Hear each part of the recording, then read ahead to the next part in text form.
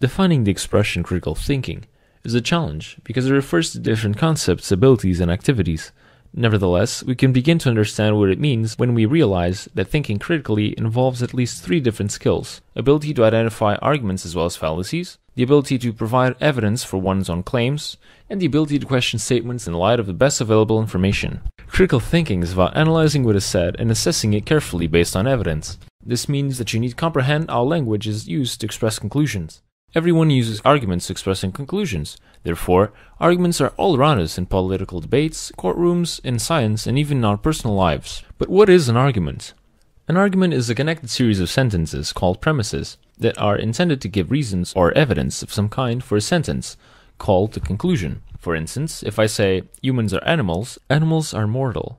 Therefore, humans are mortal. I'm providing an argument with two premises and one conclusion. Although arguments have standard forms, in our daily lives they don't appear so distinctly organized. There are many forms of expressing them, so we must develop the ability to recognize arguments as they occur in ordinary speech and writing. A tip for recognizing arguments is to look for the presence of special words, called indicator words, that signal the presence of either premises or conclusions of arguments. For instance, the word therefore serves to introduce conclusions as well as consequently, necessarily, hence, it follows that. Words that frequently indicate premises are because, since, for, and for the reason that. For example, consider the following statement Since I'm pregnant and I have read the pregnant woman must not drink alcohol, it follows that I must not drink alcohol.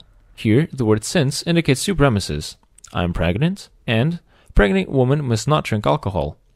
And the conclusion, I must not drink alcohol, is indicated by the expression it follows that. Another key element is to understand the difference between arguments and other linguistic devices that people use in order to make us believe what they say. Advertising is notorious for persuasive claims about products. Some advertisements present scientific arguments for their claims, for example, by describing tests performed by independent laboratories, but many, however, present no actual arguments for their claims.